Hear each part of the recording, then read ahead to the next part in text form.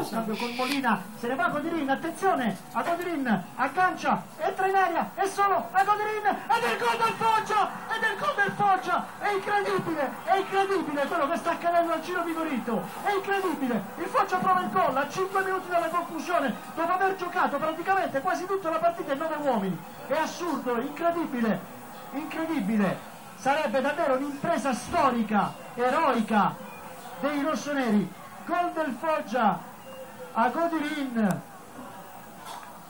il Foggia trova il gol del vantaggio a 5 minuti dalla conclusione. Ecco le lacrime, le lacrime di Agodirin, Spinito. E la festa sotto la curva dei tifosi del Foggia. Il gol di Agodirin a 5 minuti dalla conclusione. E saranno probabilmente 5 minuti più recupero lunghissimi.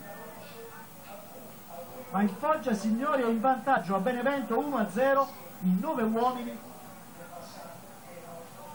Foggia in vantaggio a 4 minuti più recupero dalla conclusione. Eccolo qua, Godirin, le lacrime le lacrime del nigeriano.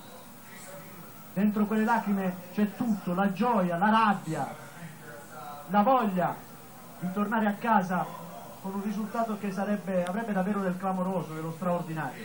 Foggia adesso allontana il pallone